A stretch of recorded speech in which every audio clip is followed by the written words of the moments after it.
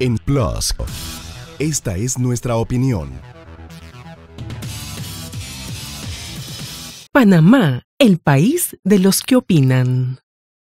El caso Mossack Fonseca no puede caer en manos de los que siempre opinan, quienes dan sus versiones de acuerdo con la corporación mediática que los invite.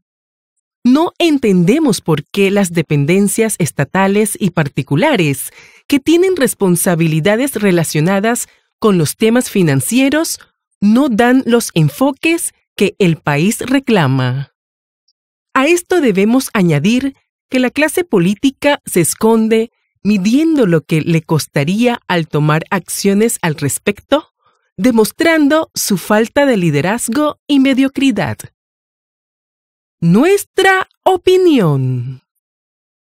El país reclama a quienes se autodenominan sociedad civil su opinión sobre la creación de las empresas offshore y la responsabilidad de la firma que ha desprestigiado al país.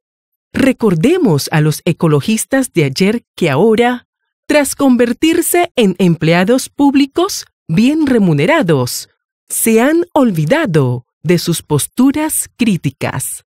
En Plus, esta es nuestra opinión.